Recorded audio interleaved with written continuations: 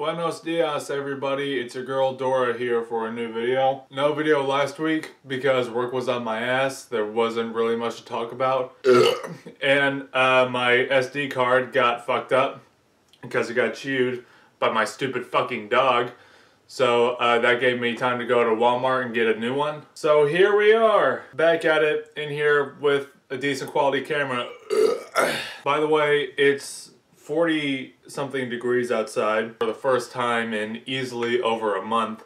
Also, it's snowing uh, like shit in New York.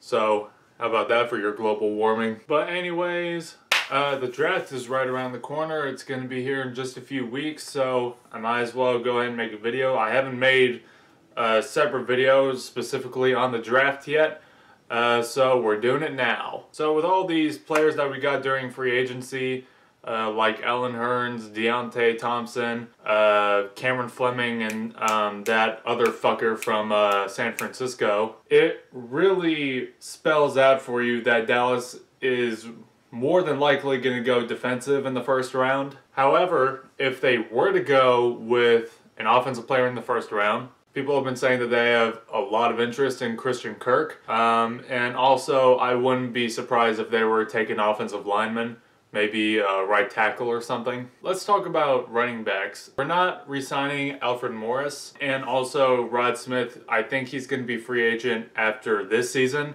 and the next offseason. So we kind of have to have some more depth at that position.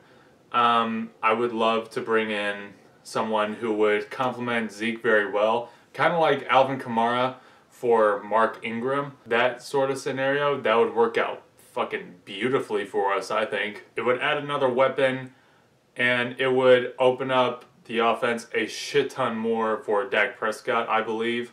This season, I haven't really paid attention at all um, to offensive linemen because I didn't think that that would be a big need for us. Apparently it is. And if you're absolutely desperate for a wide receiver, you could pick up uh, Deontay Burnett or, uh, I don't know, fucking Michael Gallup or something.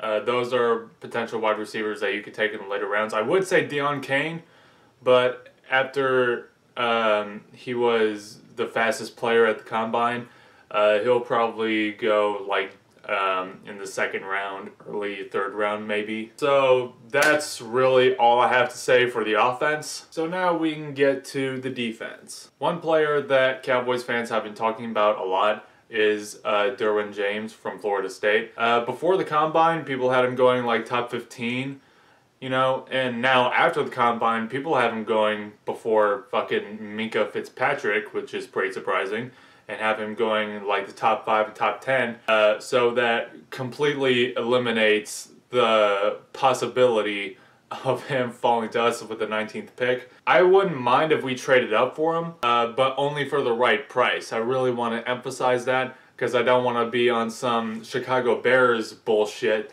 where we toss out everything in the kitchen sink just to move up a couple spots. but thankfully this offseason, uh, Dallas has been very careful with trades. Um, they didn't bite the bait with Earl Thomas, thank God.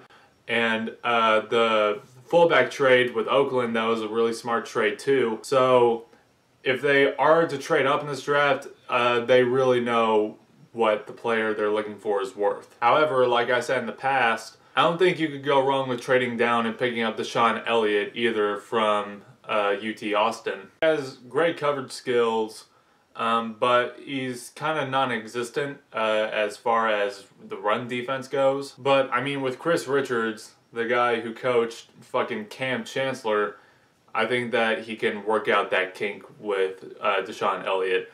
May, might not be within the first two years, but definitely give him some time and he'll be a lot more productive. I'm really a fan of trading down for uh, DeShon Elliott. I'm really a fan of that idea because uh, then you still get your starting safety and you also get, you know, an extra pick in return.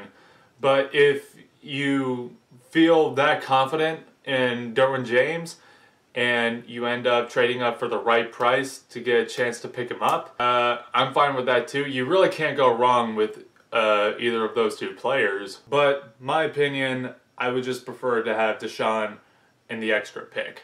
Next is defensive tackles.